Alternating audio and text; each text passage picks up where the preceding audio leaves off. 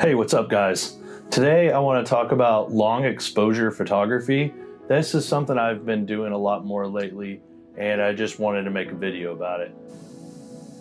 So, first off, what I use is my Canon 5D Mark IV and often my Rokinon 14mm f2.8. It's a manual focus lens, which comes in really handy when you're doing long exposures because you don't need autofocus for it. But I also use my 35mm f2 Canon lens occasionally if I need to get a little closer and the 14 is a little too wide.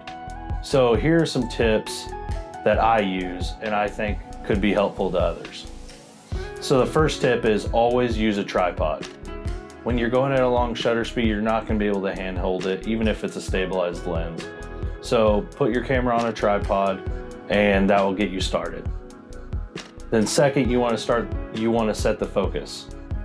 Setting the focus, typically you can just use the back screen and just set the focus. If you have autofocus, you can set the focus and then flip it into manual mode.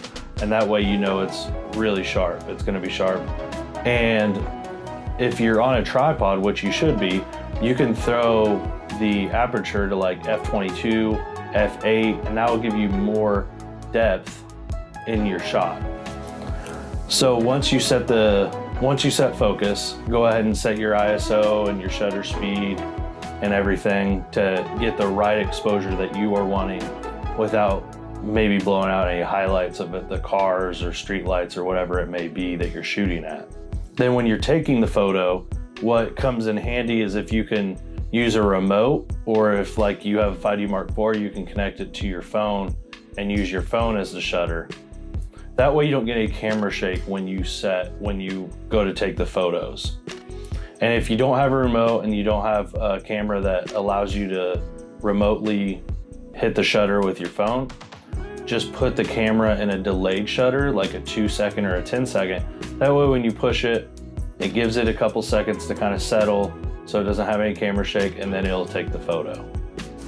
I hope these tips helped you guys. I hope uh, you share some photos.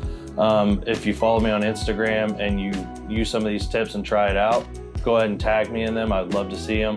Um, I'm going to show some of my photos at the end here that I've taken recently of long exposures, whether it be of waterfalls or of downtown cars passing neon lights or whatever it may be. So thanks for coming back. I'm going to be trying to create more videos. And if you have any suggestions, just let me know.